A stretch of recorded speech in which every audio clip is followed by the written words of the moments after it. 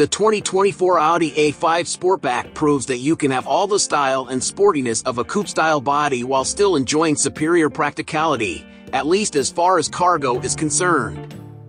A turbocharged four-cylinder engine is standard, in two states of tune, delivering up to 261 horsepower and 273 pounds of torque.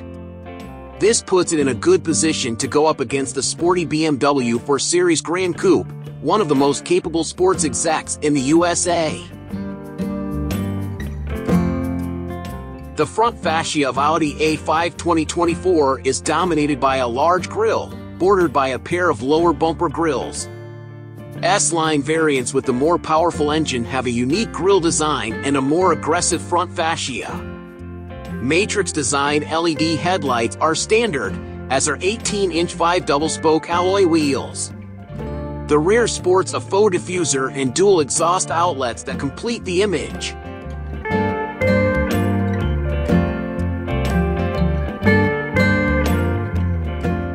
Despite sporting some very high-quality materials, the interior of the Audi A5 Sportback 2024 is not as spectacular as what you find inside a Mercedes-Benz.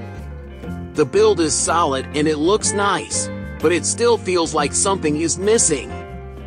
The large touchscreen situated high up on the dashboard means you can interact with many of the car's functions without looking away from the road.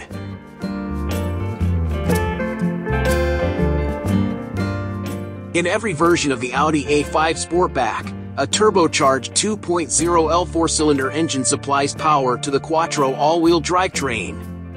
The base 40 TFSI develops 201 horsepower and 236 pounds of torque, while the higher-tuned 45 TFSI sends out 261 horsepower and 273 pounds.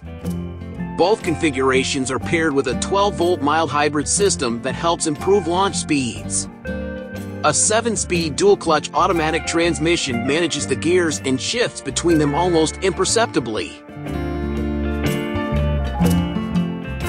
The price of the 2024 Audi A5 Sportback begins at $44,600 MSRP for the 40 TFSI Premium.